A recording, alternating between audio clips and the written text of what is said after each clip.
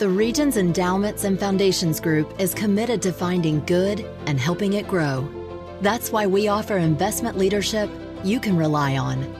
We make it easier for you to make a difference through our consultative approach, institutional experience, and organizational commitment. Regions is dedicated to helping our communities flourish, and we're proud to guide organizations that make life better for others.